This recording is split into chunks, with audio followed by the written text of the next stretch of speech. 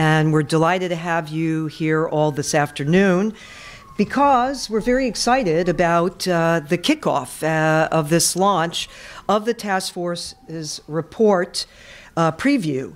And it's entitled Permanent Deterrence Enhancements to the U.S. Military Presence in North Central Europe. Let me first give a little bit of context as to how we got to the task force, the establishment of it, why, and why we're here today.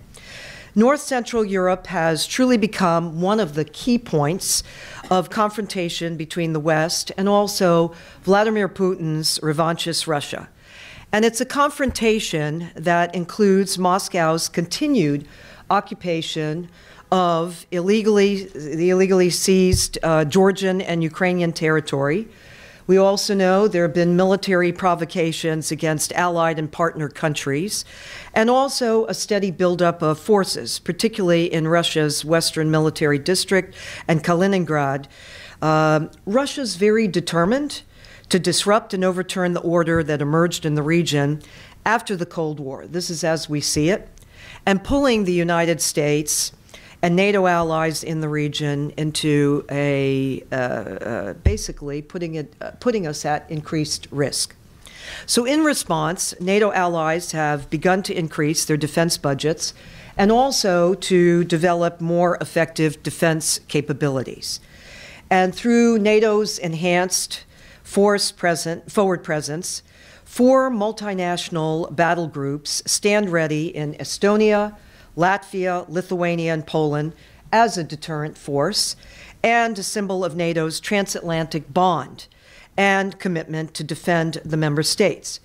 Now, as we approach NATO's 70th anniversary, uh, we think that there is more that can and should be done to enhance the alliance's deterrence posture in the region. And I would just underscore this is the backdrop to really why we are here today. But let me go on. In April of uh, this year, the government of Poland rolled out, in fact, right here at the Atlantic Council, a proposal to host a permanent U.S. base in the country. And as part of that proposal, Poland offered to invest some $2 billion in necessary infrastructure for a permanent U.S. presence. The proposal was met with, I would categorize it as with great interest in Washington. And indeed, Congress had signaled through the National Defense Authorization Act for 2019 eh, as it's known, NDAA, growing bipartisan support for a greater U.S. military presence in Europe, including in Central Europe. And in fact, the NDAA requires the Secretary of Defense to submit a report assessing options for a permanent military presence in Poland. And that report is due in Congress in March of 2019.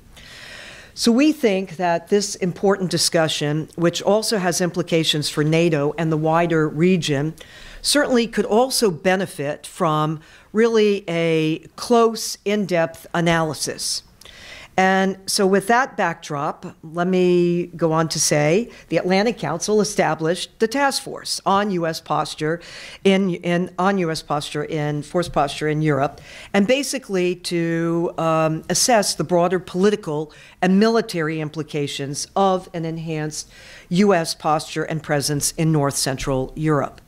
The task force features a bipartisan group of experts, co chaired by former NATO Deputy Secretary General Ambassador Sandy Vershbow, who you'll be hearing from shortly, and also former SACEUR and EUCOM uh, Commander General Philip Breedlove. Uh, in addition to myself, uh, the group also includes Project Director Ian Brzezinski.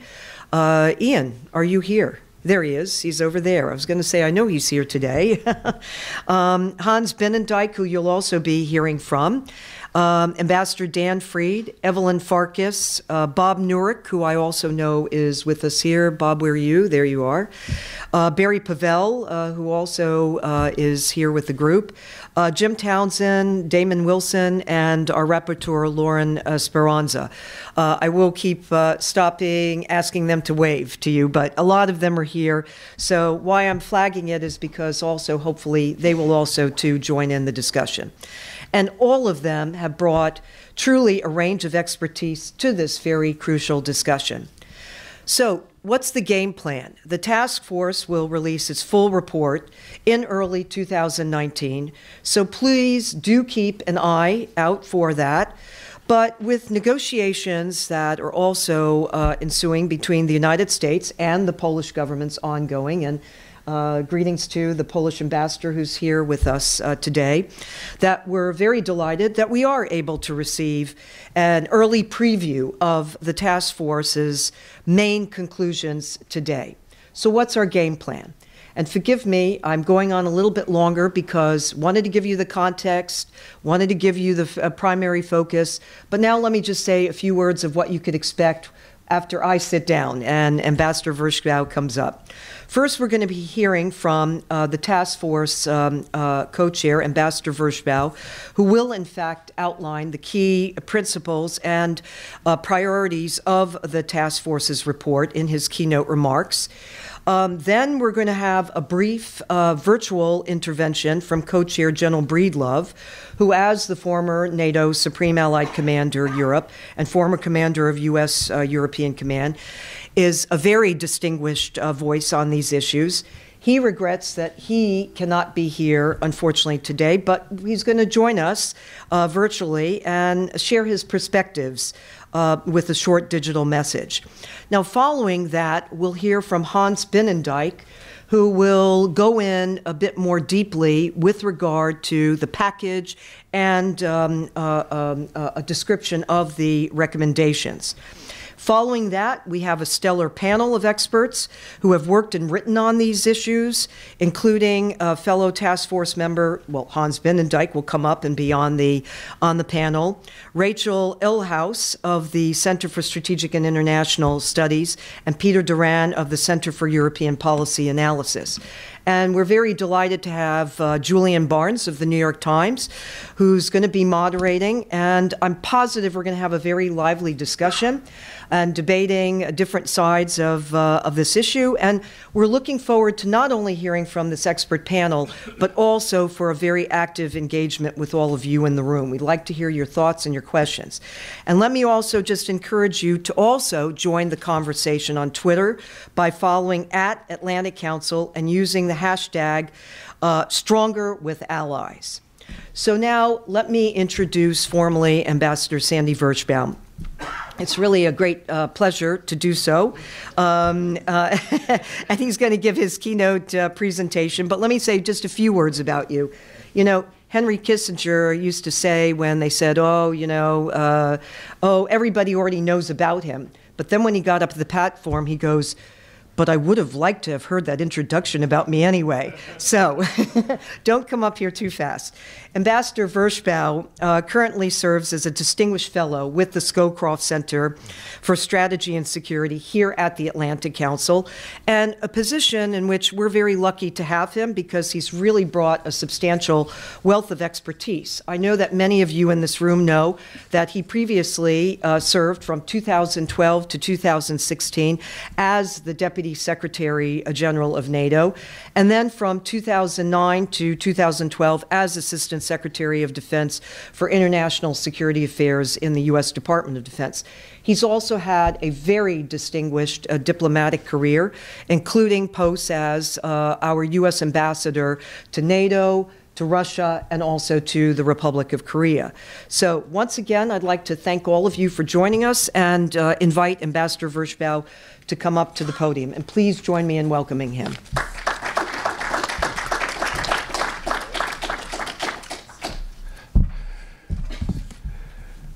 Thanks very much, Paula. Thanks to all of you for coming. It's a pleasure for me to provide today's uh, preview of coming attractions, rated PG 13, uh, namely the conclusions and uh, recommendations of the Atlantic Council Task Force's report on ways to enhance uh, the U.S. force posture in North Central Europe. Uh, the final report will be rated R. now, as, as Paula said, our task force was established after the Polish offer in April of $2 billion in support of the establishment of a permanent U.S. base in Poland, one that in its original version could house a full U.S. division. Uh, this offer resonated positively in the Congress, leading to the NDAA tasking of a Pentagon report that Paula mentioned. Uh, Friends of Poland uh, knew that this was a reflection of Warsaw's longstanding interest, going back more than a decade, over several governments, uh, to have a permanent U.S. presence in Poland. And I remember being lectured many times by Radek Sikorski uh, about uh, why the U.S. should have its troops on today's eastern flank rather than at the old one in Germany. At the same time, uh, the Polish proposal reflected the current uh, Polish government's desire to cement an enduring uh, security partnership with the Trump administration while making uh, deterrence against Russian aggression as strong and effective as possible. Now, the ambassador will probably confirm this that Poles were, uh, across the political spectrum, were thrilled when, after they helped convince allies at the 2016 Warsaw Summit uh, of the need for an enhanced forward presence uh, along the eastern flank, uh, that the U.S. then stepped forward uh, to lead the multinational NATO battalion uh, at Orzysz in Poland, bringing another 550 pairs of American boots on the ground to Poland. But this and other rotational forces were not seen as a sufficiently enduring U.S. commitment, and I think that was part of the motivation for the Polish proposal.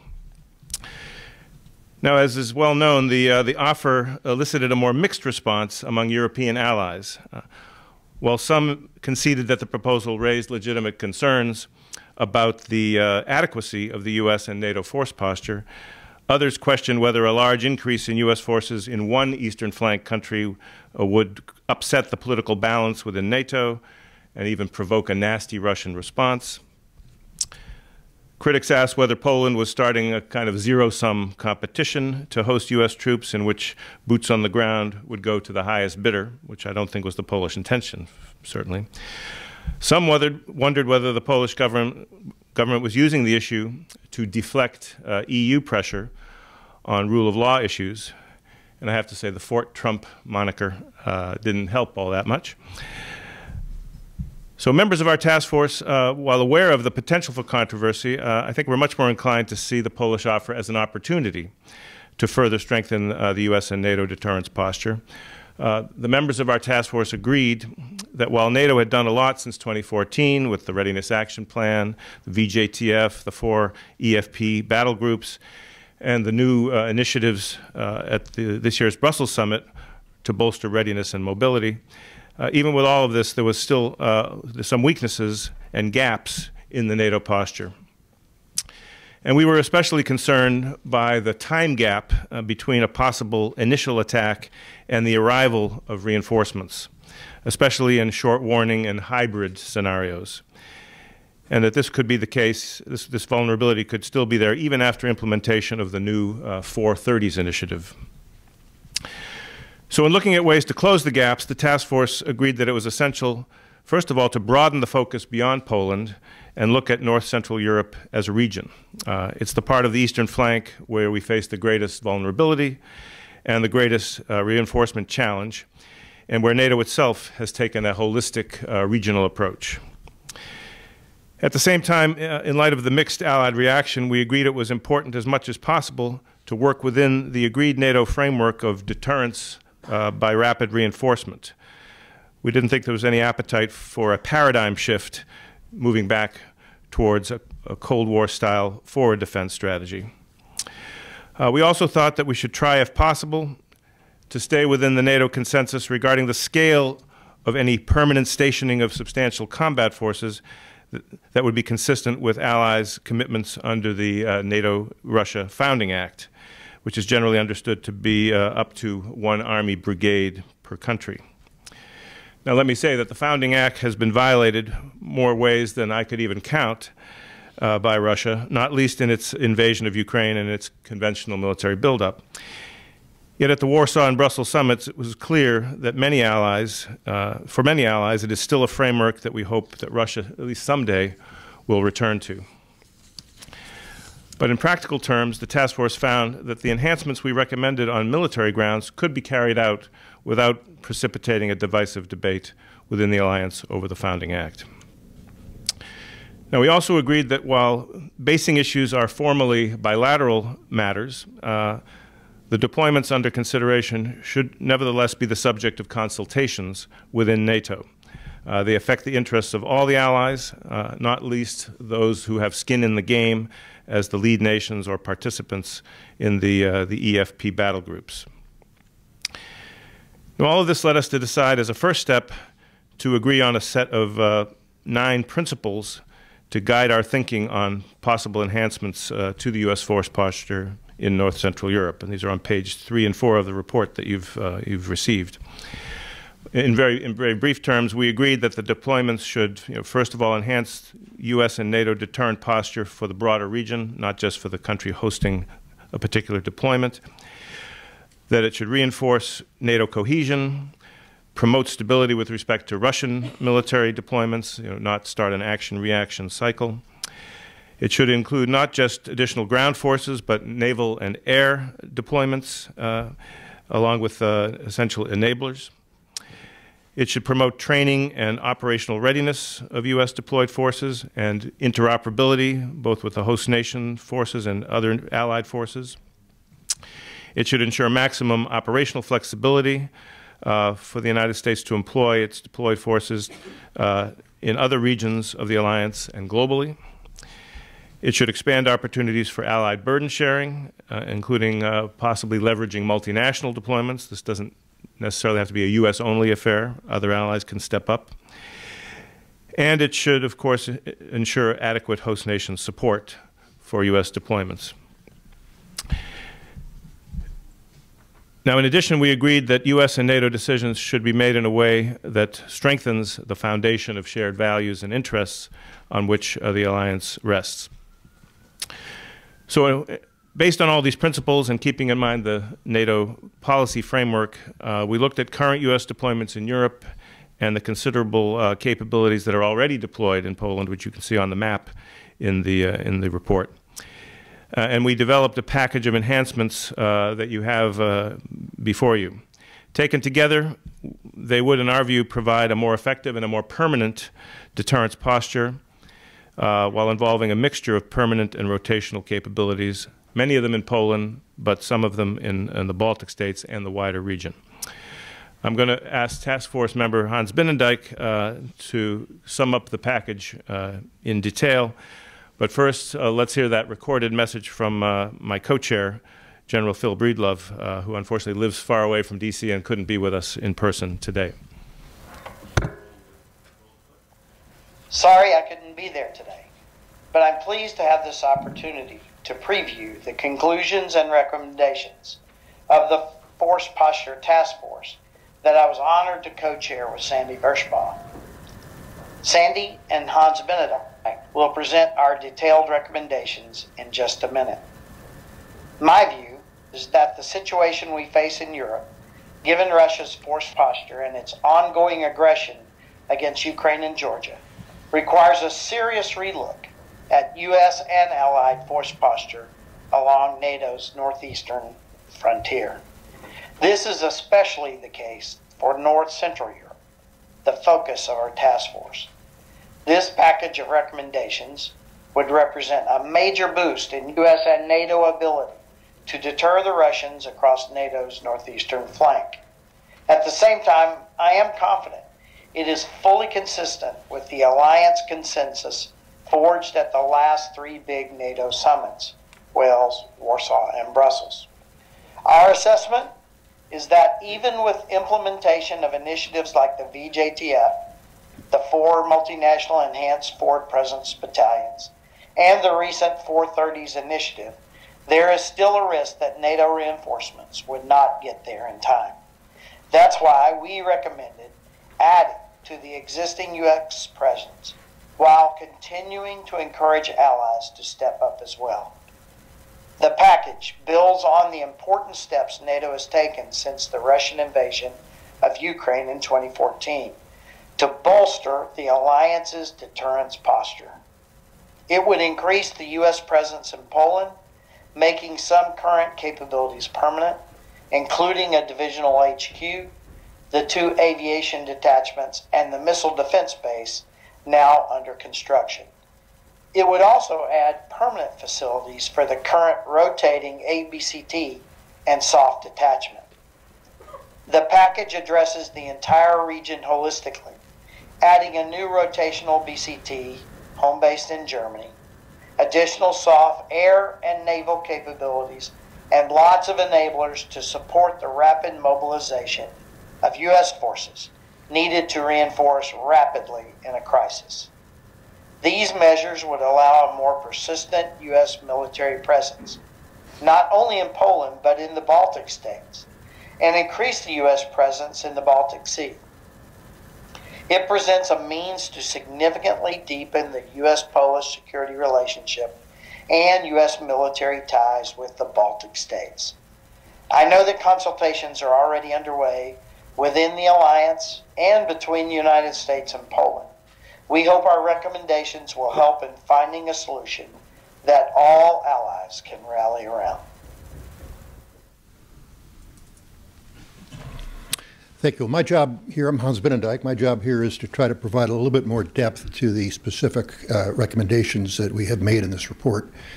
Uh, before I do that, I would like to make four very brief observations, most of which have already been touched on, but from my perspective, these four observations have tended to frame uh, most of the, these recommendations. And what we're trying to do with the recommendations is to deal with uh, these four sets of issues. The first of these four is that the so called time distance problem that we have in trying to defend and deter in uh, northeastern uh, Europe has indeed been addressed by three summits in a row. And uh, progress has been made. Uh, the time gap that uh, uh is the, is the issue here has been reduced, but it hasn't been eliminated. And so the first thing we're trying to do is to take some steps to further reduce that gap, which is critical in my perspective to maintain credible deterrence. The second uh, uh, point I'd like to focus on, uh, if you have the reports in front of you, take a look at page seven. Uh, that there are two appendices in the report which lay out the existing U.S. force structure, first in Poland and then later in the region. And as you look at this, you'll find, as as we found, that there are at least three problems. Uh, the first is uh, that uh, there really are no U.S. forces. Thank you. There really are no U.S. forces uh, in the Baltic states today. We are relying now on some 3,000 plus European forces in three battle groups. We have very little deployed in the Baltic states in, from, in terms of American uh, troops. Uh, secondly, uh, in Poland, um, what we need there is a more continuous and enduring basis to provide greater confidence and continuity. That doesn't mean uh, one large unit there all the time, but it does mean that you, we, they, there has to be confidence that there will always be an American presence there, and I'll detail what that should look like in a minute. Uh, and the, the, third problem you'll see if you look at that uh, appendix is that there are no enablers uh, to provide support both for NATO and for U.S. troops. Uh, so these are problems that uh, these recommendations are intended to fix. Um, as Ambassador Vershbow mentioned, um, we believe that uh, maintaining NATO cohesion uh, is critical to this entire effort.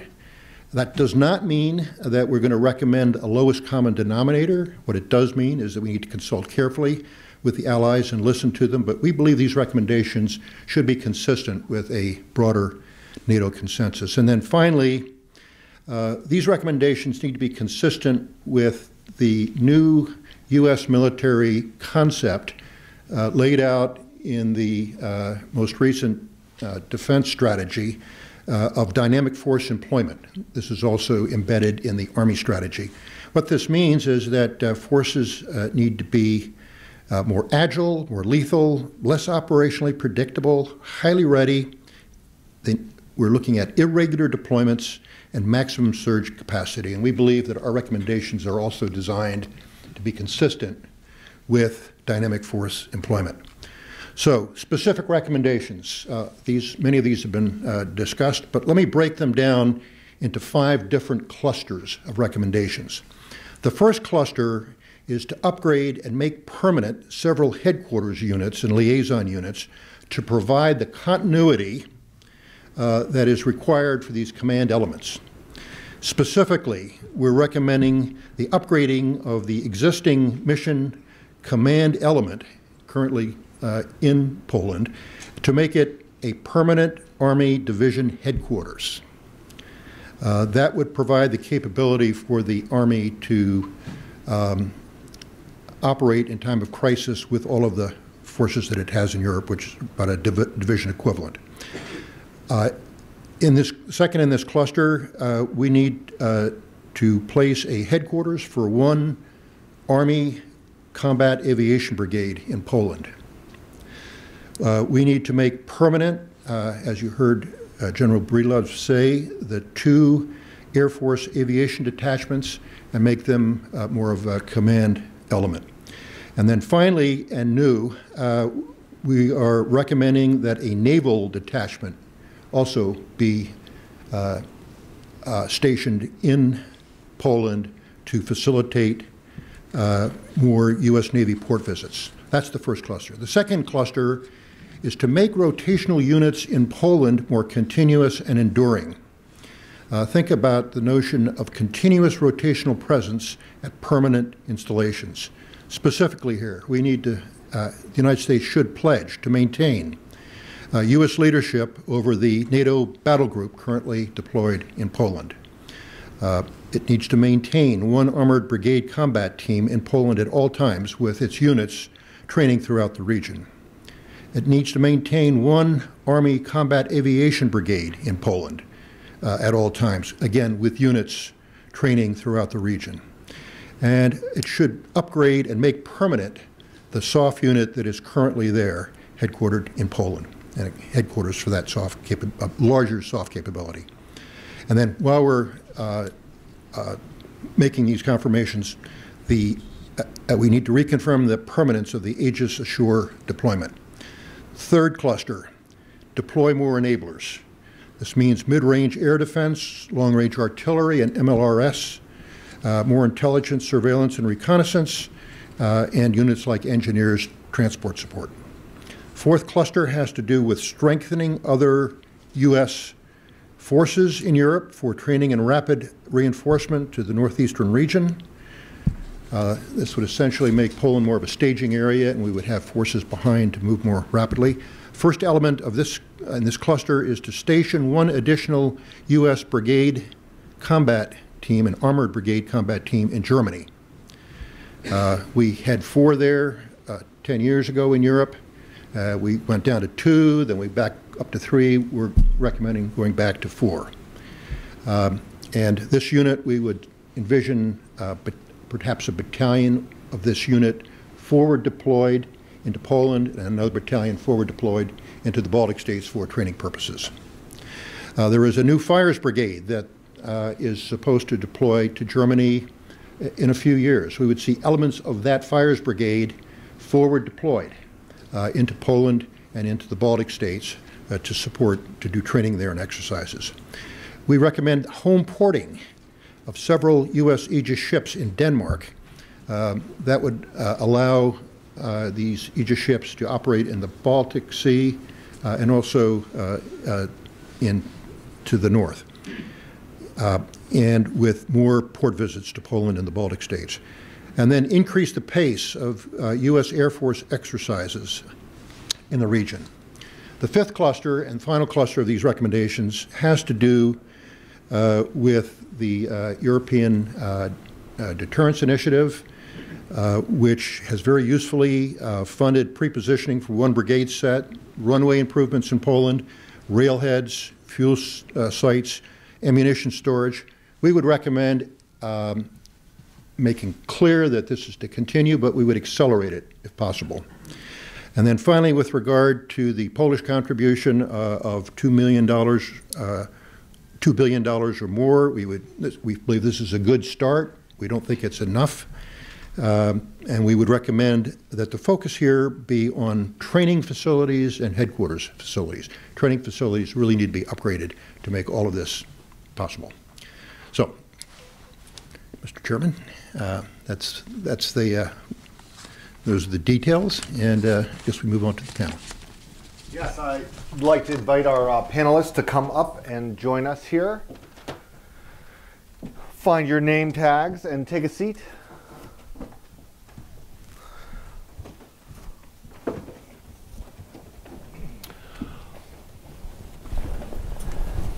I'm Julian Barnes of the New York Times, uh, and uh, until July, I was uh, based in Brussels for the Wall Street Journal covering NATO and uh, writing all about the NATO buildup uh, and the kinds of issues we're talking today.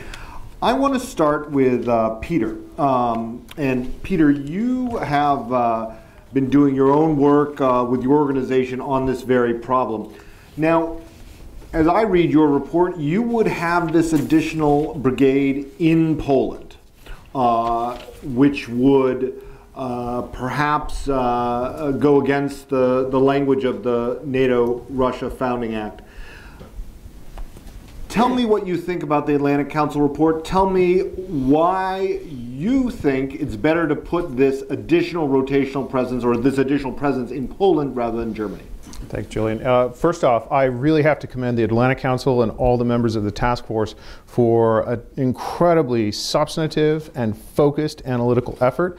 Uh, if uh, there is one thing that's needed more than ever right now, it is for analysis, more analysis and less uh, uh, trading rhetoric on Twitter. And I think the Atlantic Council's effort here by starting with principles and working forward from that point uh, is extremely welcome and needed.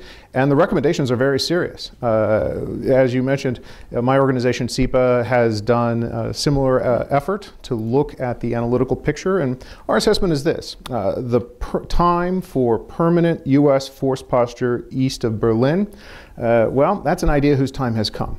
Uh, it is something that not only we can do, but we must do in order to do two things. One, to deter any effort by Russia to test our defenses. And second, to establish what we call ballast in the US Central European relationship. That's missing right now because of the lack of a permanent US force posture east of Berlin. We have that same kind of ballast in our relationship with Turkey. We have that same kind of ballast in our relationship with Germany. It's missing with our relationship with Poland, uh, and that's creating some costs, negative costs that the United States can and should try and overcome when I say force posture is an issue of we can and we must, I, I would push back to, uh, on the issue of yes, we can. Because our reading of the uh, NATO Russia Founding Act is, is, tracks exactly with the Atlantic Council's. We can put a permanent brigade east of Berlin and still be within the confines of what we've already agreed to. Russia has already agreed to this. Germany has already agreed to this. So uh, we don't see any status quo impediments to a permanent brigade force posture east of Berlin. I would go one step further my own, in my own assessment and say the conditions of 1997 are long gone and unlikely to return in our lifetimes. And unless and until we come to terms with that hard fact, we are going to do ourselves a disservice and we're going to endanger the safety and security of Europe. So, maybe one point to, to look at when we assess these recommendations, many of which I would fully endorse. Uh, one point to, to hang our hat on is what can Poland do? We've heard a lot so far about what, uh, what Poland's put on the table one to two billion dollars, perhaps maybe more. I think the Pentagon has a high price tag for toilet paper, plungers, toilet seats, things like that. I'm sure we can find ways to economize. But set that aside. What can Poland do to help? Well, right now we got a problem and that is that our forces aren't necessarily able to exercise uh, as realistically as possible as they can in Germany due to restrictions on account of red tape. We can cut that red tape. We can find ways in which the United States Army and Polish forces can exercise in live joint fires uh, activities uh, in the same way that they can in Germany. The U.S. Army has to maintain a high level of readiness if it is going to have a permanent brigade east of Berlin. That's essential. And right now, we're not yet there. This is a solvable problem. And that's, I think, my final message here. Whenever we look at the impediments to U permanent U.S. force posture east of Berlin, I look at these impediments, and every single one of them is a solvable problem. And it falls now to the Atlantic Council, to CEPA, and other Friends of Freedom in Europe to solve those problems. Like I said, yes, we can, and yes, we must. I think the imperative is that we must move our forces east of Berlin permanently. Rachel, I want you to react to the uh, Atlantic Council uh, report, what you like about it, uh, what, what raises a, a flag with you, and also your assessment of how the Pentagon is going to look at this. How are they looking at the problem? What are they likely to do in the months to come? So, thank you very much.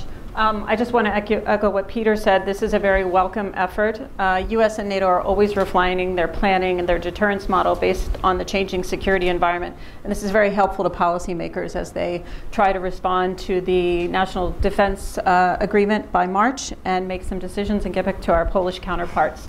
Um, one issue where I, I, might take a little bit um, a different tact than Peter did was the, the idea that we don't have ballast uh, in our relationship with Poland. We have more than 4,000 forces uh, in Poland right now. Those are U.S. forces, not to mention allied forces. Poland's an important partner, it's our anchor of U.S. presence in Northern Europe.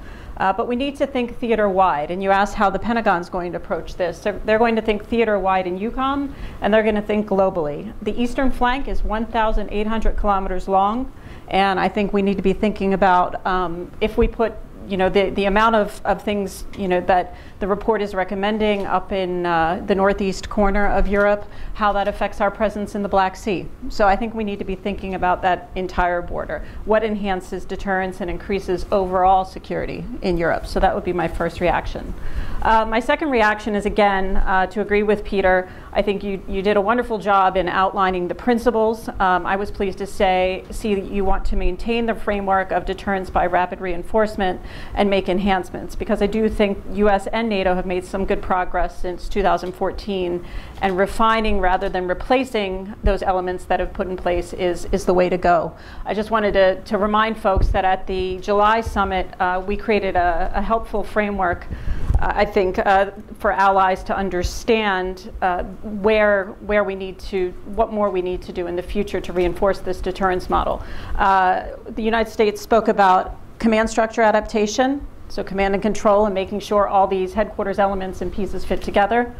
Readiness and reinforcement, the 430s, which Hans was very involved in. Military mobility, so the ability to get things across the Atlantic and move them around Europe as well. And then finally, and the one we probably made the least progress on is speed of crisis decision making. And I saw the report. Uh, you didn't outline it, but towards the end, it had some very good recommendations about uh, transfer of authority of U.S. forces to SACEUR and giving him some crisis decision making leeway as well, which, which I very much appreciated. But as we think through the, the value of these, I just keep those big four in mind because those are the enhancements to the existing model that I think we should be looking at. Um, what enables the forces that are are already on the ground to be more lethal? What enables those forces to talk to one another? What enables those small headquarters elements to uh, accept more throughput? Uh, and reinforce one another.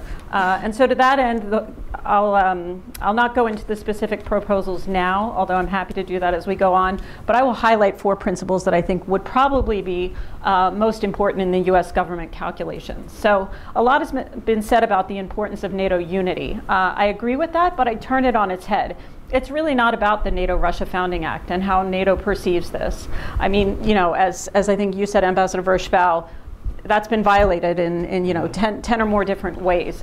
What re the reason that NATO unity matters is the perception of the allies. If there are allies that are uncomfortable with the nature of the presence, either because of the signal that it sends to Russia or because it's too much in one place and it, and it leaves them uncovered, uh, I think we need to think about what allies think because we're all in this together and the best deterrent is alliance unity. The second, uh, which Hans alluded to, was dynamic force employment. Now, while I liked a lot of the recommendations, and I think some of them do provide that strategic predictability and operational unpredictability that is behind dynamic force employment. I think there are others that don't necessarily do that and may jeopardize it. And I'm happy happy to go into that. Um, and those who aren't familiar with dynamic force employment, the idea is basically, you know, I think Secretary Mattis said it best when he said, we don't telegraph our punches. So we want uh, to let people know that we're going to do something and we're going to act, but you can never be exactly sure how. Uh, this was just exemplified by the carrier strike group that joined Trident Juncture 18. That took the Russians a bit by surprise. Um, everyone thought it was going to the Med, and then suddenly it, you know, turned a little bit north and a little bit east. so um, I think that's that's the kind of metric that we have to put put on on these recommendations as well. Third, and another one where I would say some of the recommendations don't quite meet the bar that I would say the Pentagon has for operational flexibility. Um, the U.S. is a global power; it requires global power projection and the ability to use the forces and capabilities anywhere. So when we think about the presence of the 173rd in Italy, of course they have a primary NATO role, but they're also supporting the Middle East and North Africa missions as well. I would want that fidelity from our, our Polish and Baltic partners that those forces would truly be global availability. And that brings me to my fourth consideration, which is readiness. Would they be able to retain the readiness for global missions? Does Poland and, and others in the region have the world class training facilities that we have in Germany to retain the readiness when they're deployed and doing these constant rotations? Because the one thing we know about the strategic environment is that it's unpredictable. So you have to be ready for all of these eventualities. Um, with that, I think I'll stop. I mean, I liked a lot of the recommendations, in particular, uh, the idea of transitioning the division headquarters, the, the mission command element to a division headquarters because of the throughput it brings. I'm not convinced it needs to be permanent. I think that's probably a question that will come out. Um, and I'd also warn against the proliferation of headquarters. I think mm. in the command structure adaptation, we did see a lot of people coming forward, you know, with, with good intentions, but, but it's better to increase the number of combat-ready units than the number of headquarters. Julian, can I just do a quick jump in because I want to echo a point that was just made okay. here. It is essential that when we talk about uh, alliance cohesion, uh, three words become the defining words of, of how we frame this conversation with our allies. Engage, engage, engage. Half of the problem we have right now within the alliance is that there is no shared threat assessment about Russia the way in which some countries on the east view the Russian threat is wildly different than how that threat is viewed in Berlin or Lisbon for that matter. Uh, the United States can and probably should do a lot more to engage, engage, engage, specifically Germany, on its assessment of why we view the threat differently, what we're doing about it, how we're going about it. Uh, these kinds of conversations are absolutely necessary in order to ensure that critical alliance cohesion that got mentioned. The other point, though, on U.S. global force posture is critical because the elephant in the room in this discussion about permanent force presence is not Russia, it's China. Right now, if you look at the U.S. national security strategy, we are coming to terms in a very realistic way with what long term great power competition with China is going to look like. That long term com competition is going to drain massive amounts of resources, manpower, and policymaker attention away from Europe. The United States must fix European defense in order to be capable of pursuing long term strategic competition with China. If we fail to do so, we're going to send a terrible message to the Russians. It's going to say the candy store is open and unguarded. Worse, we're going to communicate that to the Chinese that we're spread too thin and we can't keep our global commitments. This is where we I would reiterate though, we need to establish the same kind of permanent ballast in our relationship uh, with Poland in much the same way that we have that permanent ballast through our force posture in places like Germany, uh, Belgium, and Turkey. Okay, uh, Sandy and Hans, I want you both to react to what they both just said, what Rachel's uh, uh, talk about operational flexibility. How did, how do you think this, your way of looking at this, preserves uh, operational flexibility? Clearly, you were thinking about that when you you did this, and also address her point of is this too much for the Northeast? Uh, Vladimir Putin is making trouble in Ukraine right now. Uh, there's constant trouble in Georgia. Are we putting too many eggs in one part of Europe? So react to her points. React to that. Yeah. Well, I would say, first of all, uh, appreciate the, the comments, and, uh, I, and Rachel is particularly well informed as to how this might be uh, re- received, having only recently departed the Pentagon. Uh, but I think you know we see this issue of operational flexibility partly as a political one. It needs, needs to be an understanding with uh, with the, the host nations, and Poland in particular, that forces assigned to Poland are not restricted for use in the defense of Poland or, or the wider region, that they are truly available globally. And then there's the issue of readiness. I mean, we, we, uh, we do recommend that one of the ways that Poland could spend its $2 billion and maybe even more money is to bring its training facilities up to the same kind of high standard that we uh, can rely upon. Peter made this point as well in uh, in Germany, uh, so that uh, if they have to go either to another part of Europe or uh, or somewhere uh, out of area, they are at that high level of readiness that we would we would insist upon. as far as you know, too much in the north. I think what we are suggesting is not a dramatic expansion. I mean, the additional BCT would add some real uh, uh, additional numbers. But we think that the, the North Central European challenge is the greatest. It's, it's different. I mean, there may be a case for uh, more troops uh, rotating into southeastern Europe, Romania and Bulgaria, particularly as the Russians are uh, building up their forces and uh, behaving in an even more provocative way. but the, you know, the scenarios of a kind of out of the blue land grab or a hybrid scenario, destabilization, subversion, uh, are most immediate in the Baltic states, and having the capacity to reinforce really quickly uh, with the enablers in place, with uh, uh air, air uh, to back up the ground forces. Uh, all this is essential if we're going to close this gap in, in, in, time required to ensure that the reinforcements are there before the, these valiant multinational battalions aren't overrun. So, I mean, these, these are political judgments, but we think that there is room for uh, expansion in, uh, in North Central Europe. Hans, I want you to, to weigh in on uh, what Peter and Rachel have said, but I also want you to talk about uh, what your plan does for a U.S. presence in the Baltic states as well, because uh, when Atlantic Resolve began, we had a company in each of them. Now that we have the enhanced forward presence, we often have United States troops rotating in, but it's not constant, and that has been a sticking point for the Baltics. Will this plan only answer the Polish concerns, or do, does your plan also answer the Baltic uh, countries' worries? Yeah, I, I hope it does uh, uh, address their immediate concerns. We would do that. We talk about the need for enablers added throughout the region. I've had the chance to visit uh, the NATO battle groups. Uh, Sandy and I went together to Latvia. I've been to Lithuania. I've talked to the commander of the Estonian NATO battle group. And they have a pretty clear idea of what they need to be able to sustain a fight.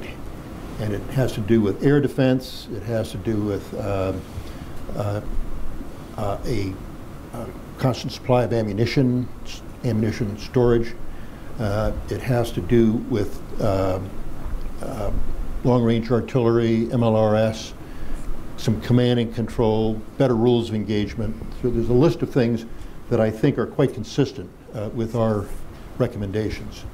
Um, well, much of the focus of this report was on the Polish contribution. We did see that in the context of a broader regional uh, problem. Now, uh, with regard, let me maybe just make one comment about each about uh, your four uh, points, Rachel. Uh, the first on NATO unity. Uh,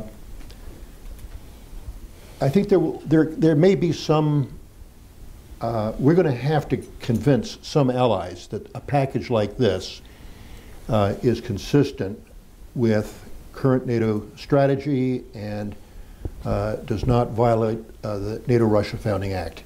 Uh, I think we're all in agreement that that act has been violated, but we also don't want to do things that break NATO cohesion at a time. NATO is as fragile as I've seen it in 40 years working on NATO. Uh, and we don't want to do anything else to further fracture it. But I think we can make the case that this is a brigade reinforced and it is not there deployed on a permanent basis. It may be continuous, it may be enduring, um, but it is still a rotational brigade. So I think we can make the case to our allies I think you're right. that this is not inconsistent with the NATO-Russia Founding Act. We don't need to jettison that right now uh, because I, I think we have, there's another way to do this. The second point I would make uh, is with regard to dynamic force employment. If you look at the way that uh, the current armored brigade is deployed in Poland now, it's not in one place. Uh, it, it has a headquarters, but it, it, it trains in about five or six different areas all along the Polish-German border. So already inherent in the way it's deployed is some of this notion of uh, dynamic force employment. They're dispersed.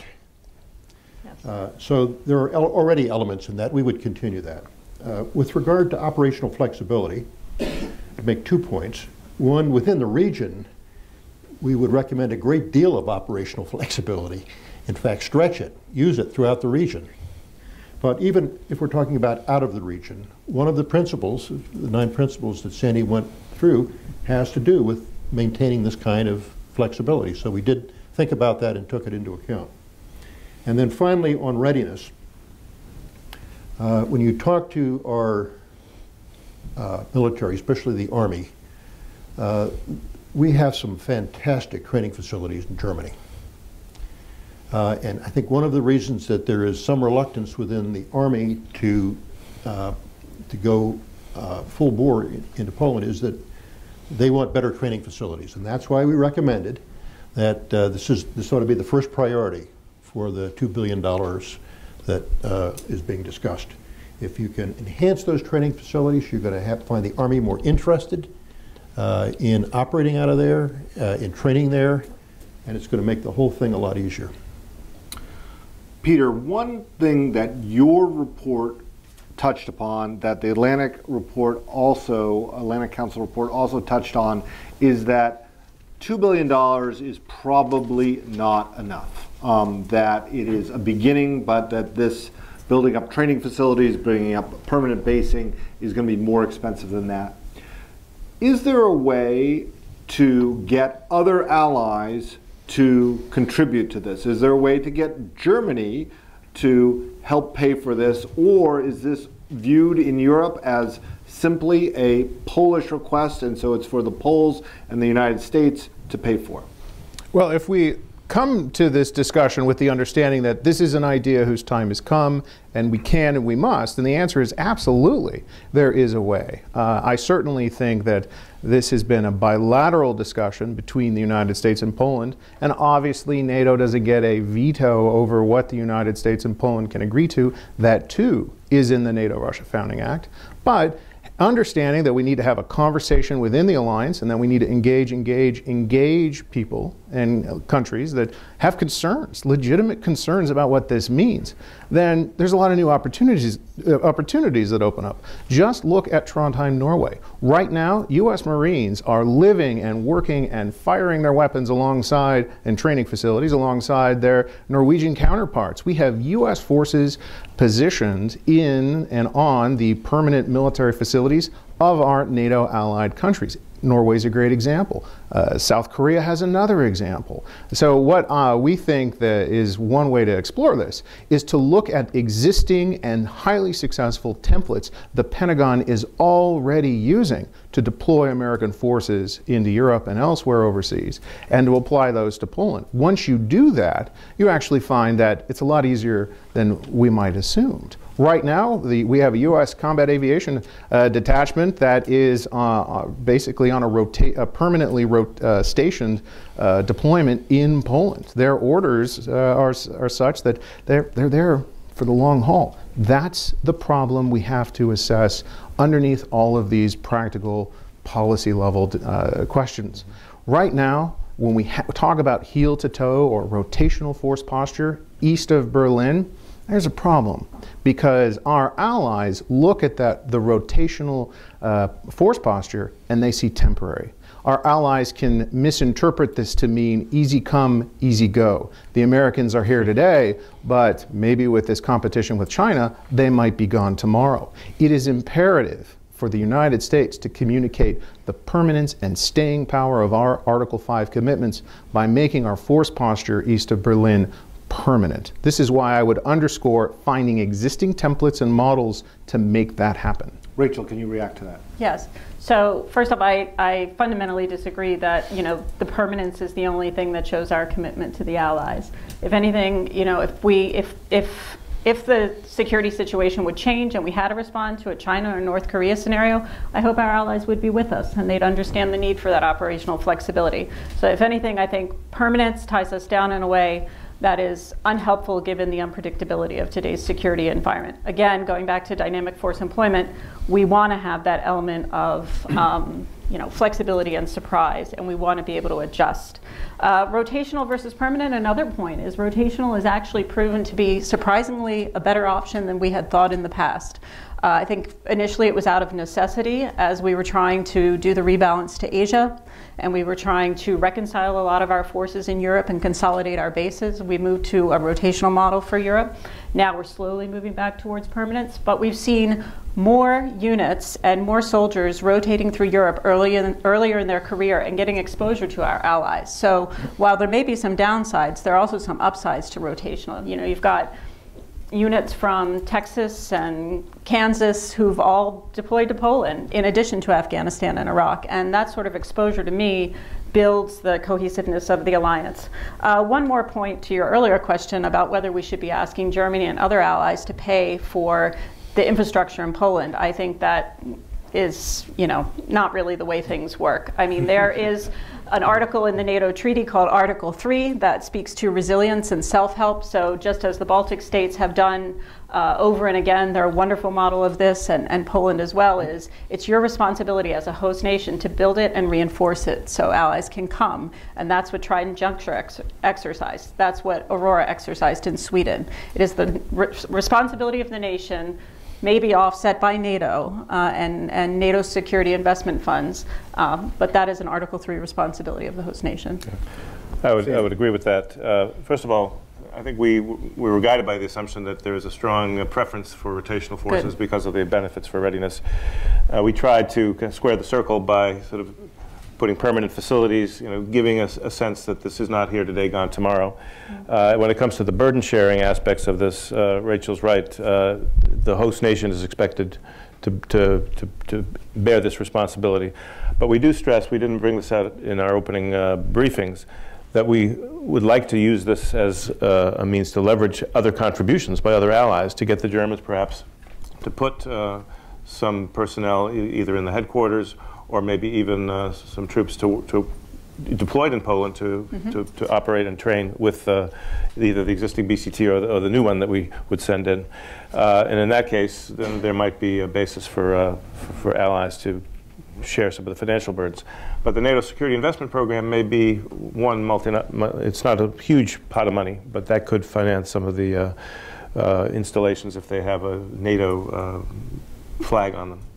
Hans, is there a way, I want you to react, but I also want you to say, is there a way that you see some of the kinds of needs you've uh, identified, whether they're air, naval, air defense, being met by an ally, not necessarily the United States, but also react to the conversation so far? Yeah. Uh, first, let me just say a word about permanent. Uh, sometimes it's good to get a thesaurus out. uh, the word permanent um, has a problem because it's the word that is used in the NATO Russia Founding Act. Uh, and so, it, in a sense, it's limiting. Uh, it is better to talk about enduring, continuous, uh, words like that. The, the, effect is the same.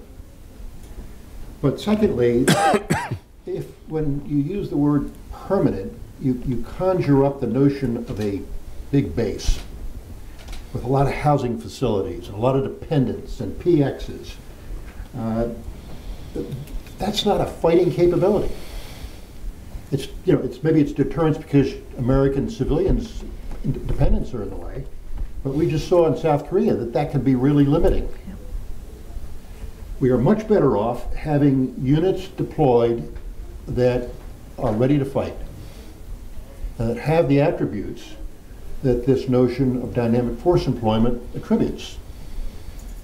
That is a much better deterrent force than a base with PXs. This ought to look like a forward operating base in Iraq more than it looks like Ramstein Air Force Base. Uh, I would, I wouldn't maybe that way, Not that but far. it- that's a different kind of mission again. But yes, you need, you need a fighting capability, not a lot of dependents in the way. Okay, we want to open this up to audience questions here. Uh, Sir, uh, there should be a microphone coming, and here, oh, uh, yes, right in the front here. Two more seconds, gentlemen will have the microphone for you. Uh, I'm Bob Bradtke, former State Department official, and now at the McCain Institute. I wonder whether the task force has looked at the impact of the U.S. decision to withdraw from the INF Treaty on the recommendations that you're making and on our force posture in that part of Europe. Um, Ambassador Vershbow. Uh, the short answer is, is no. Uh, we were focusing on conventional forces, and, uh, and frankly, given the delicacy of the uh, intra-alliance uh, debate, inter-alliance politics on nuclear issues, we didn't think that uh, any of the recommendations should address changes to NATO's nuclear footprint or nuclear strategy in Europe. Now, there may be, over time, once the uh, alliance begins to look at options for uh, answering the additional military threat that we face because of the Russia's, Russian deployment of this uh, illegal system. There may be uh, a case for deployments of some systems in, in northeastern Europe, or, uh, but, uh, but we saw that as sort of a premature to, to factor into our analysis. I, I agree with that.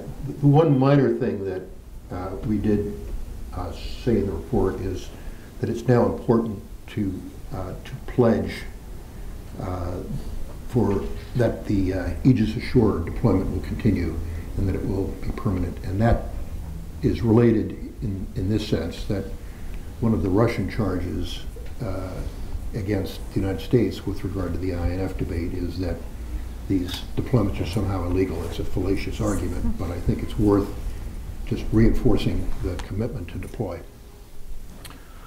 Uh, a question in the second row here. Uh, I'm Harlan Ullman with the Atlantic Council. Thanks. Uh, an observation and then a couple of very short questions. Uh, I think you need to look really carefully on this assumption of rapid reinforcement because I believe it's a huge vulnerability.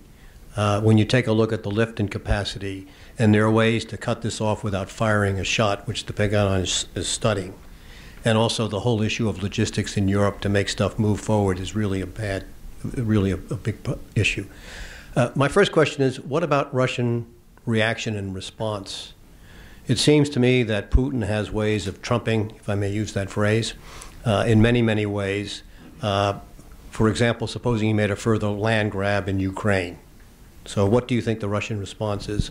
Second, have you really looked closely at costs? Because I would argue the U.S. military does not have the force structure to do what you want. It's overstretched. And I think what you're saying, you talk about two destroyers to, the to Denmark, hence that's not going to happen.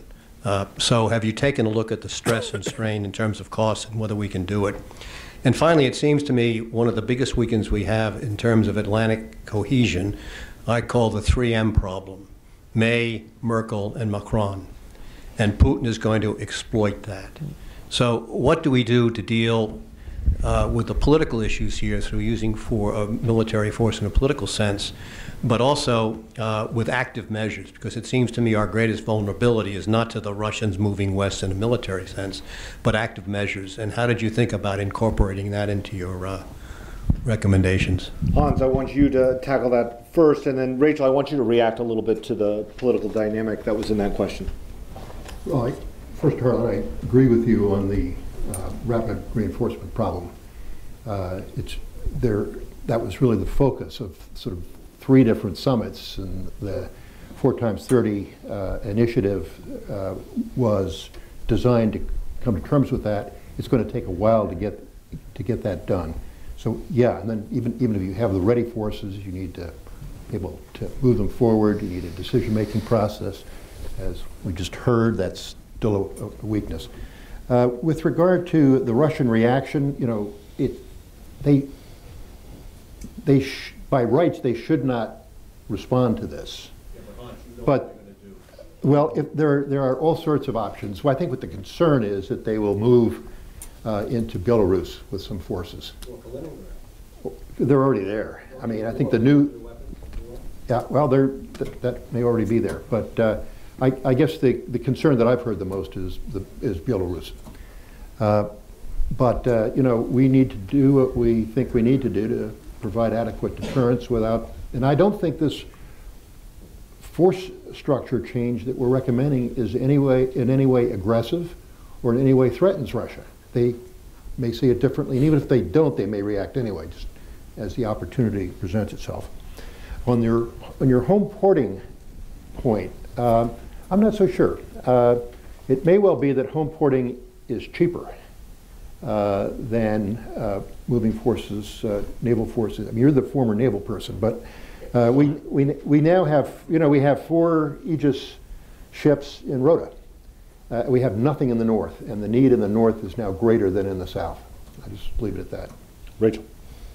Uh, so I think it was beyond the scope of the report. You focused on conventional, but but to your first question, I do think that you know the national defense strategy talks about expanding the competitive space. So not just looking at conventional, but looking at gray zone tactics, electronic warfare, hybrid cyber. So I think personally, the more likely scenario is something that's more you know, under the threshold. So we talk about posture here, but to get at, you know, the Russian reaction, we have to have a lot of different things in our toolkit. Um, I like your 3M moniker for May Merkel Macron. I think from a U.S. perspective, there's a couple things we can do. Um, the first is if and when the U.K. ever gets out of, you know, the Brexit roundabout, um, we should encourage a strong UK-EU defense partnership. It's in the UK's interest, it's in our interest, and it's in the EU's interest. The UK has the majority of the forces and the capabilities, and EU defense will be nothing without UK involvement. Um, equally, we need to continue to find ways to work uh, usefully uh, between NATO and the EU and to make sure that the EU defense efforts do, in fact, reinforce NATO um, and the European pillar of NATO. Uh, we also, and we often do, utilize what's called the Quad. So it's the U.S. plus, you know, UK, France, and Germany to build consensus and positions before we take them into the alliance at 29 or into other multilateral institutions. It's hard, but uh, you know, I think we can we can work on an interest-based uh, approach to, to, to, you know, as the as the hashtag says, stronger with allies. Can I uh, field that security spiral issue, which was implied and actually straightforward in, in the way you, you framed it? The one thing to remember here is that because this comes up. If we do X, Putin will do Y. If we do X plus one, Putin, Putin will do Y plus two. I would argue this. Right now, the security spiral is already happening uh, Vladimir Putin is not deterred by the elements we've, all, we've currently put in place. There already is a Fort Putin in Georgia, in Crimea, the Donbass, Syria, and Kaliningrad. Putin has made five major moves on the geopolitical board without a permanent response by us. That's, that's a dynamic that must change, and that's why I am uh, you know, encouraged by the discussion that is leading us to find permanent responses to Putin's existing provocations against us. We have a question in the fourth row, the gentleman with the blue tie. Thank you, Miklos Lazar SIPA. Um, I'd like to go back to the question of permanence, actually. Um, Germany has, uh, sorry, Germany has uh, been very central uh, for NATO in that respect. And I was wondering whether it is time to look at it from a messaging uh, perspective, a signaling sort of perspective, and and um, consider what sort of uh, message it would send to have something permanent in Poland. Uh, to the new region, which which joined, of course, in 2004. I mean, when it comes to the EU, and whether it would show a sense of emancipation for that region. So whether we could look at this not only in terms of defense, and of course these are very important questions and they are much more technical, but um, we are not quite sure whether you know. Um, um, Germany uh, and and Poland should not be more equal in that respect. Do you think there is there is anything uh, in in this topic, or or do you think this is com completely arbitrary? Um, because I, I, do think that many East Europeans and East Central Europeans would find it important. Sandy, I want you to uh, tackle that. No one knows the Founding Act and better than you do, and the word, uh, the difficulties over the, over the word permanence. Well, that's one aspect of the question. I think it was a more philosophical question about uh, you know where is the center of gravity of the alliance. But uh, I think on the issue of permanent, I would disagree with Peter that you know we don't we fail to counter the Russian threat. I mean, I think it, it is the fact that even though the battalions that we've put into the Baltic states and Poland, they're small, but you know, they're permanent in the sense that they're not going to be withdrawn. I mean, they, the, forces themselves change from uh, every six months or every nine months, uh, but it is a permanent commitment by the alliance. And I think you know, it needs further reinforcement in terms of uh, the, the 430s initiative, ensuring that we have the ability to back these troops up. But I don't think uh, we're doing as badly as, as you, you, suggested. It's a different story in terms of non-NATO members who are facing this, threat, you know, even, even, as we speak, in terms of the Russian buildup uh, in the Azov Sea and in the, in the Black Sea and the potential uh, for, for new mischief uh, during our, to, to, disrupt our holidays uh, in the next few weeks. But this issue of, uh, you know, should uh, Poland become a, be put on equal footing with Germany in terms of the sort of the alliance strategy? I mean, I think in some, some, ways the East has become the, the focal point of everything that we're doing. I mean, th this is where the greatest vulnerability is, and you've seen uh, you know, NATO reorient itself to, to you know, relearn and rebuild deterrence from the ground up uh, over the last four and a half years. Uh, and so uh, the strategy is centered on the East, but Germany plays a pivotal role you know, as the uh, key place from which the you know, reinforcements either emanate or flow through. Uh, and uh, Germany itself has taken on huge responsibilities with this new command under the NATO command structure. Uh, so it, it, shouldn't be seen as some kind of zero-sum game here. Uh, I think we're trying to suggest ways where we can show the increasing importance of Poland uh, by you know, building on the already significant capabilities that are there making clear that Poland is not just a frontline state, but it's also an important linchpin in the defense strategy. Poland is key to reinforcing the Baltic states in the, in the same way that Germany is key to reinforcing the, you know, the wider eastern flank. So uh, I, I, think this, this will evolve over time, and we'll see as, as we improve and fill in the gaps in, in the strategy that there will be a you know, increasing place for Poland. It shouldn't be measured by whether you have a, a giant base or not. It should be in terms of the, the, the role you play and the, and the, key role that Poland does play as an, as an ally punches above its weight is going to go not just to 2%, but to 2.5% of GDP over the coming years, setting a good example in that regard. Uh, so, um, but let's not diminish you know, Germany with its huge military capability and the, and the key um, new responsibilities it's taking on in the current security environment. Hans, we've talked uh, at times here, we've mentioned at times the 430s initiative. This is the idea of getting uh, allies to have ready forces uh, able to reinforce. How do you ensure that if a version of the plan that you've laid out is put into effect, that that does not take pressure off other allies from creating more ready forces, which has been identified as as a critical problem here? Yeah. Um, well, they have, they have agreed to do it. They have agreed to a time frame. Uh, there are plans within the military structure now as to how you proceed to achieve those goals. They are attainable goals. Um, I think more needs to be done on the implementation front. We have to figure out where those forces, the ready forces come from. They have to be designated. They have to be certified and we need an organizational structure to deal with those forces. I mean, they're just ready forces now, but how do they plug into the NATO command structure for various missions? So much more needs to be done, but I don't see uh, the kind of a proposal that we put forward as leading to the conclusion on the part of the allies that, you know, the United States is doing more so we can stand easy. In fact, the reverse will be true. I think the pressure now on the Allies for greater burden sharing is going to drive a lot, uh, including the four times 30. Rachel, Peter had uh, said, um, raised worries about whether Russia is uh, deterred enough uh, from Poland and the Baltics. Uh, what is your view of the current situation? If nothing more is done, if there is no Fort Trump, if we just stick with the uh, rotational brigade we have and the NATO EFPs, um, is that unacceptable risk in your mind for Europe? I don't think so. I mean, I think there are there are refinements that need to be made to the existing model, and a lot of the recommendations in the report get at that. So it's beefing up the infrastructure, in particular the headquarters elements at the division level, because they allow for that throughput of the follow-on forces. They allow the different elements to talk to one another.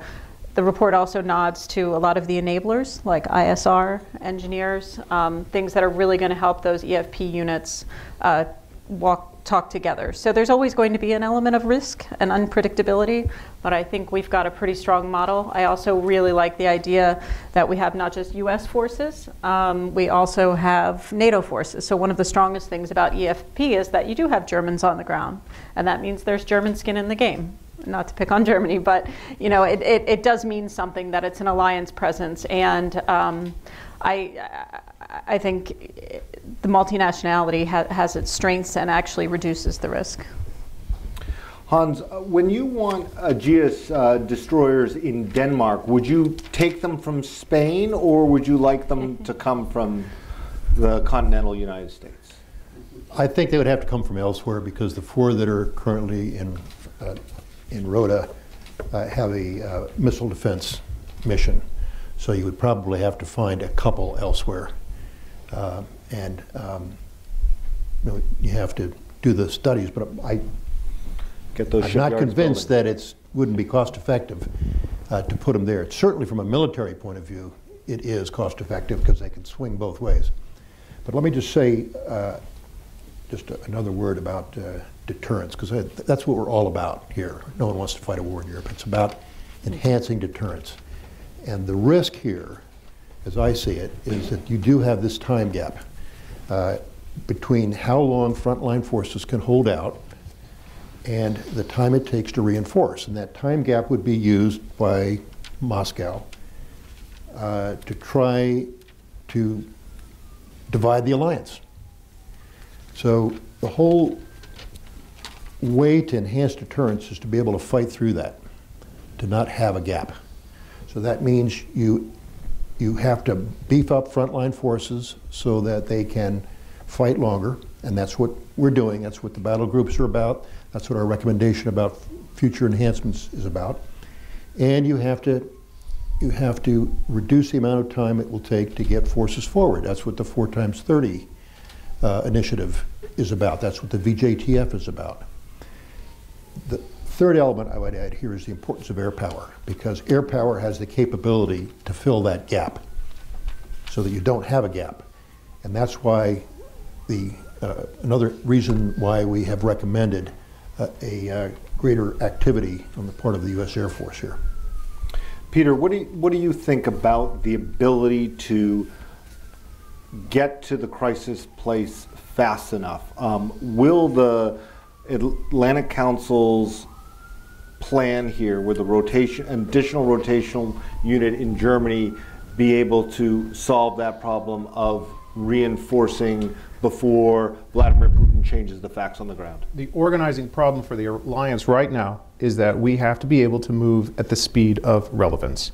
Uh, if there was a test of our resolve as an alliance in the Baltic states, for example, uh, we have to move very quickly, deploy over long distances, cross border checkpoints, and cut uh, and deal with a lot of red tape. All of these things will occur under peacetime conditions. Uh, I think having, uh, I would echo what Hans has said, having our forces closer to where a potential crisis point could erupt, not farther away, and then training on cross border mobility, training on how we can swiftly roll out of the motor pool and deploy to where U.S. Uh, troops and NATO troops would be needed. That's key. We have to be able to move at the speed of relevance. That's where the enablers come in. I would wholeheartedly underscore the absolute importance of having more enablers, not just in Poland, but throughout the, uh, the Baltic states. Right now, if a truck breaks down in Estonia under Operation Atlantic Resolve Northeast, the good American soldiers based out of Mariupol, Lithu Mariupol, Lithuania, have to travel all the way up to Estonia to recover, say, a U.S. truck and take it all the way back to Mariupol. Along the way, there's nowhere to stop for fuel, for food, or to rest up. This is what happens when you don't have a large enough enabler footprint and network spread throughout the Baltic states. I can envision taking the uh, ideas put forward by uh, the task force uh, and building them up. Let's have a permanent enabler network of U.S. flags with U.S. officers uh, positioned in all three Baltic states that stretches back through Poland and back to, into Germany. This is how we're going to show Russia, and more importantly, Russian war planners, that whatever they're thinking of, whatever low scale hybrid uh, probe they might try, the alliance will be able to move fast, cross great distances, and be more relevant than their plan. That's how you create deterrence in the mind of an opponent. Rachel, how big a problem is it for the Pentagon today being able to uh, have the flexibility to put use your forces globally, but also react quickly in a trouble spot where somebody is trying to use their geographic uh, advantage? Um, yeah, I think things are, are getting better. I think of the example of naval forces where there was a period of reset and now the Navy's probably at a point where they can start to think about, about you know, deploying more globally. I think it's probably different for, for every force. Um, I've also, you know, I'm, I'm once removed from it now, but I believe a lot of the combatant commands are getting more of the baseline forces that they've requested. But I think part of the Pentagon strategy is to make sure that you plan for that element of surprise and that you leave yourself that headroom so you don't dole out all the forces to the combatant and functional commands. Initially, you have some in reserve, so to say, so that you can respond in that more flexible way. We're about out of time. I want to give uh, Sandy you the last word for sort of concluding mm-hmm. thoughts uh, that you've taken away from our discussion today.